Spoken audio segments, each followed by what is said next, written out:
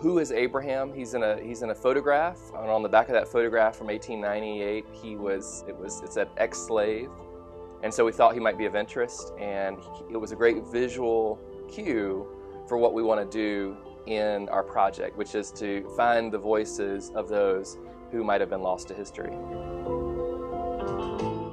When I was a student here at Furman, you know, the name of the school was just something loosely Baptist. I didn't really know who Richard Furman was, and I think as we get into an era of digital access, it becomes easier and easier for people to stumble on who he is and stumble on his record on issues like slavery.